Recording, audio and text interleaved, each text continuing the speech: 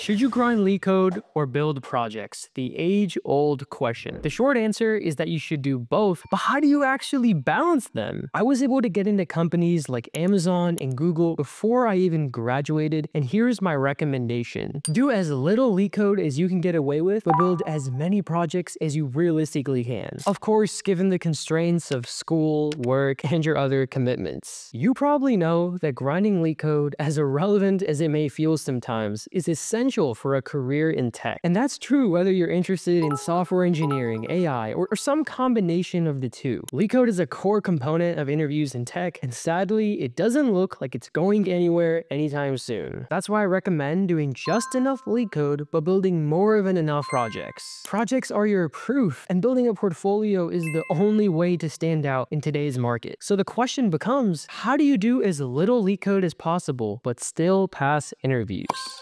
If you only remember one thing from this video, remember this. Do the bare minimum, but do it smart. Pick a small, curated list like the Blind 75. Then, solve problems in random order. Why random? Because in a real interview, you won't be told the type of problem in advance. You'll have to figure that out yourself fast. And here's where most people go wrong. They follow the pattern strategy, doing 10 binary search questions, then 10 sliding window questions, than 10 DP questions. Sounds logical until you're in the interview and there's no one telling you the pattern. And now you're stuck because you've been training with hints instead of preparing for the real thing. That's why random practice works better. You're constantly training the exact skill you need in the interview. I could go deeper into why this works, but that's a conversation for another time. Right now, let's talk about what actually moves your career forward.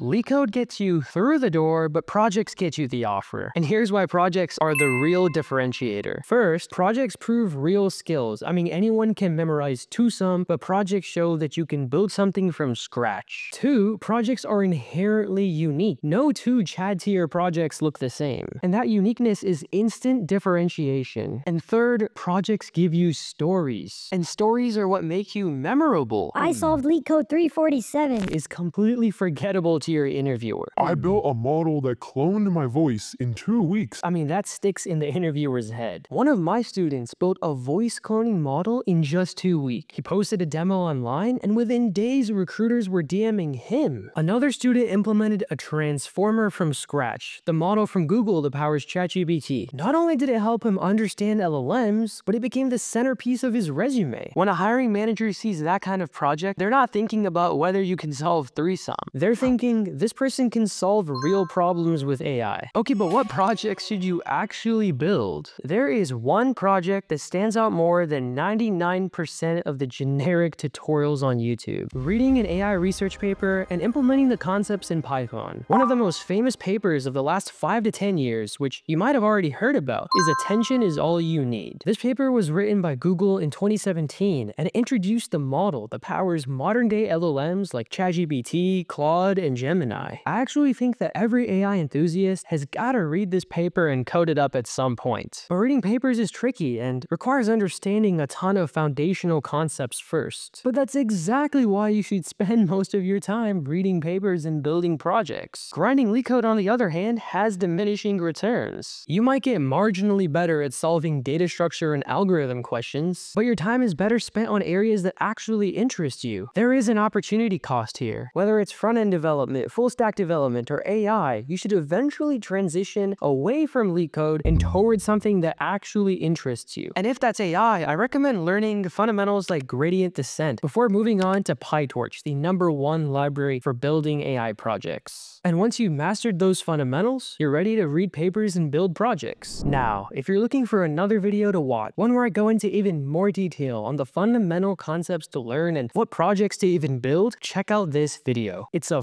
full guide, and it's one of the most valuable videos on the entire channel. See you there.